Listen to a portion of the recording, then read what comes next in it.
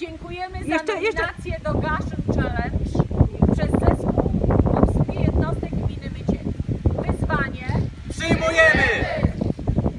do dalszej akcji nominujemy radnych gminy Mycieli, restaurację Spichlerz z Mycielina, sklep Dino z Mycielina.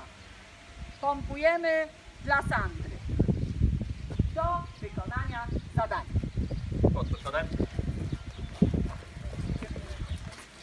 Jeden, dwa, trzy, cztery, pięć, sześć, siedem, osiem, dziewięć, dziesięć. Brawo!